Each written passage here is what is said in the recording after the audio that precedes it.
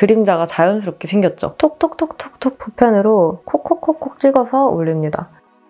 안녕하세요. 클레어입니다. 요즘 유행하는 것 중에 하나가 바로 애교살 메이크업이더라고요. 애교살 메이크업을 하는 방법 두 가지를 준비해봤어요. 첫 번째는 좀 큰 펄감은 부담스럽다 하는 분들이 daily로 하기 좋고 또 증명사진을 찍을 때 하기에도 좋은 은은하게 애교살을 강조하는 방법이고 두 번째는 좀 더 포인트가 되는 화려한 glitter를 사용하고 음영을 깊게 넣어서 진짜로 애교살이 확 강조되는 메이크업 방법을 가지고 왔어요. 그럼 오늘 영상도 지금부터 바로 시작 시작할게요. 먼저 애교살 메이크업의 원리는 두 가지 다 똑같아요. 애교살 밑에다가 그늘을 그린 다음에 그 사이 애교살을 밝히면 되는 건데 오늘 두 가지 방법에서 다른 점은 그림자를 넣는 도구 그리고 애교살에 바르는 glitter 또는 섀도우입니다. 오른쪽 눈에는 daily로 가벼운 애교살 메이크업을 해보고 왼쪽 눈에는 조금 더 포인트로 화려한 애교살 메이크업을 해볼게요. 일단 shading 이렇게 생긴 eyebrow 브러쉬가 필요해요. 제가 사용해봤을 때 이렇게 모양이 잡혀있는 brow 브러쉬가 가장 그림자를 딱 원하는 영역에 그리기 편하더라고요. 그리고 shading은 평소에 가지고 있는 거, 집에서 쓰는 거 들고 오시면 됩니다. 투쿨포스쿨 아트클래스 바이로댕 얘는 모던 컬러예요. 이 쉐딩은 제가 예전에 유튜브에서 warm tone 클래식 컬러랑 비교해서 리뷰를 한 적이 있는데 클래식보다 애교살에 발랐을 때 훨씬 더 자연스러워서 저는 애교살에는 주로 이 컬러를 많이 사용해요. 이제 가장 먼저 그림자를 만들 건데 이렇게 세 컬러 중에서 저는 이 가운데 컬러를 사용할 거예요. 중요한 건 이 브러쉬가 이렇게 눕거나 이렇게 누우면 안 돼요. 브러쉬가 얼굴이랑 수직이 되게 딱 이렇게 해가지고 이렇게 되게 인위적으로 웃어요. 눈 밑에다가 한 줄을 쓱 지나갑니다. 그림자가 자연스럽게 생겼죠. 좀 부족한 것 같다 그러면 진한 컬러를 진짜 조금 콕 찍어가지고 웃었을 때 눈 가운데에 있는 부분에만 그림자를 한 번 더 넣는 거예요. 살짝 그림자를 넣습니다. 그 다음에 이 애교살 부분에다가 섀도우를 올릴 건데 펄이 없고 컬러가 밝은 거를 올릴 거예요. 아리따움 모노아이즈 팔레트 everyday 컬러예요. 이게 이번에 새로 나온 제품인데 전부 다 무펄에 딱 daily로 쓰기 좋은 컬러들로 구성이 돼 있어요. 이게 색감이 굉장히 밝고 뽀얀 느낌이어서 그런지 제 피부 에서는 이런 음영 컬러들도 발라도 별로 티가 안 나더라고요. 이 가장 밝은 컬러만 사용해서 이렇게 애교살 포인트 줄 때 주로 사용을 하고 있어요. 여기 이 컬러를 사용할 건데 딱 봐도 굉장히 하얗고 뽀얗고 그런 느낌이 들죠? 브러쉬에 이렇게 잘 묻혀서 여기 애교살 튀어나온 부분에다가 얹을 거예요. 이렇게 톡톡톡톡톡톡 누르듯이 얹습니다. 전 이렇게 섀도우를 얹어서 애교살을 만들어봤어요.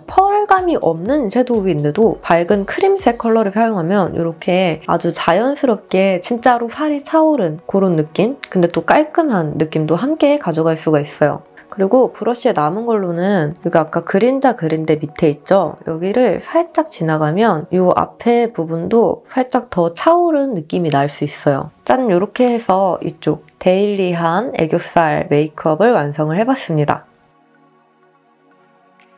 그 다음 왼쪽은 이제 화려한 애교살 메이크업을 해볼 건데 우선 이쪽에 애교살을 만들 때 필요한 건 썸펜 멀티 애교 슬림 라이너 1호 soft milk 컬러인데 얘는 애교살 전용으로 나온 붓펜 아이라이너거든요. 일단 컬러가 약간 투명도가 높은 느낌이라서 좀 더 진짜 그림자 같아 보이기도 하고 이 붓펜 타입이라서 지속력이 길기도 하고 마찬가지로 살짝 웃은 다음에 붓펜으로 슥 지나갑니다. 깨끗한 브러쉬를 사용을 해서 이 경계를 빨리 풀어줍니다. 그리고 한 번 더 살짝 그림자를 만들게요. 제가 이거를 처음에 사용했을 때는 굉장히 당황스러웠거든요. 너무 그림자가 한 줄처럼 띡 생기고 근데 쓰다 보니까 이제 익숙해졌어요. 이거 한 번에 확 그으면 안 되고 살살 한 여러 번 덧발라가지고 그림자를 만드는 게 훨씬 자연스럽더라고요. 이렇게 왼쪽도 지금 그림자를 완성을 했어요. glitter를 사용할 건데요. 올마이띵스 트루뷰티 glitter 썸 스윗과 썸 러브입니다. 이거는 이렇게 두 컬러 다 가지고 와봤는데 썸 스윗은 제가 원래 쓰던 제품이고 썸 러브는 이번에 제공받았어요. 이 올마이띵스 트루뷰티 라인은 여신강림 작가님,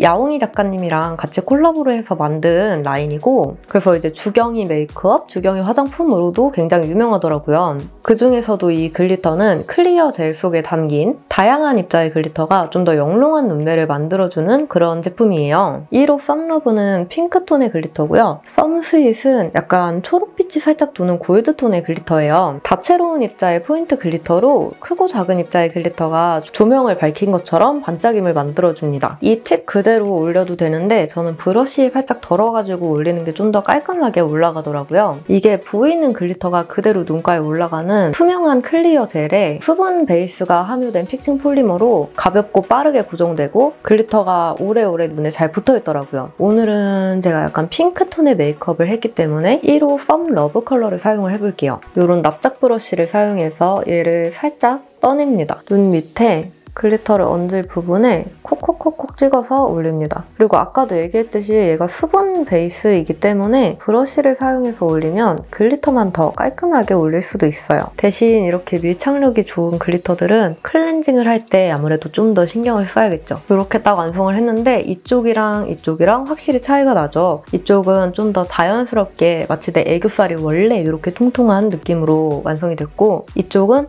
조금 더 화려하게 펄감을 빡 넣어서 애교살의 존재감을 확 살리는 느낌으로 완성이 됐습니다.